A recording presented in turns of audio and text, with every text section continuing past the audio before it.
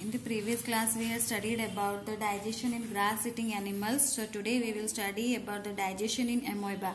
Amoeba is a unicellular microscopic organisms which float in water. So its nutrition also involves four processes like ingestion, digestion, assimilation and egestion. So here four steps are there. For example, you can see first of all amoeba. Amoeba is there with nucleus is there and here food particle is there. When amoeba senses food, when amoeba senses food, it takes out its false feet. It takes out its false feet which is known as pseudopodia.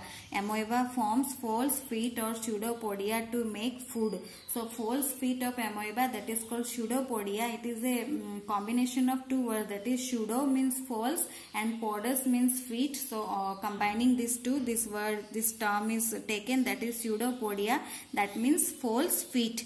So amoeba after sensing the food amoeba makes false feet or pseudopodia to take the food.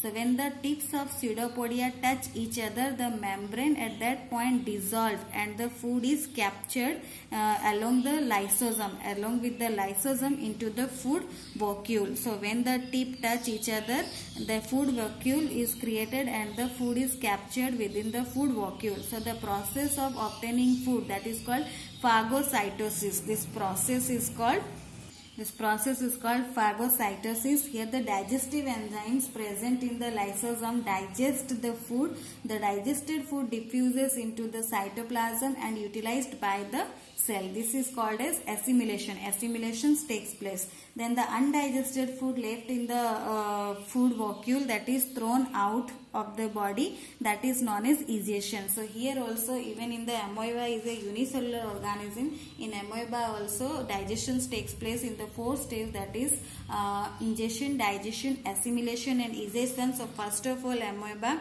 senses the food. Amoeba senses the food particle. After sensing the food particle it creates or it makes a false feet that is known as pseudopodia.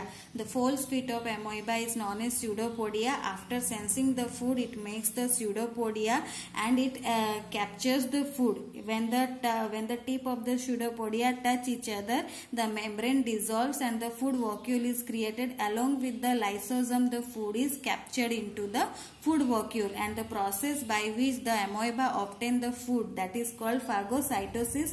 Then the digestive enzymes present in the lysosome digest the food and the um, food diffuses into cytoplasm and utilized by the cell. So that is assimilation takes place. And then the undigested food whatever is left in the vacuole that is thrown out of the body that is called egestion. So here the false feet of amoeba is known as pseudopodia. Pseudopodia is a combination of two terms that is pseudo and podia that is pseudo means false podus means feet so singular form you can say that pseudopodium otherwise we can say that the false feet of amoeba that is pseudopodia it makes the false feet after sensing the food to take the food. So this is all about digestion in amoeba. So with this you have studied about the digestion in humans, digestion in ruminants and digestion in amoeba. So please read the whole lesson once again uh, so that you will be more clear about the digestion in different group of animals like humans, grass eating animals or amoeba. You will be more, more clear. Next class I will say, say the short question answers from the book.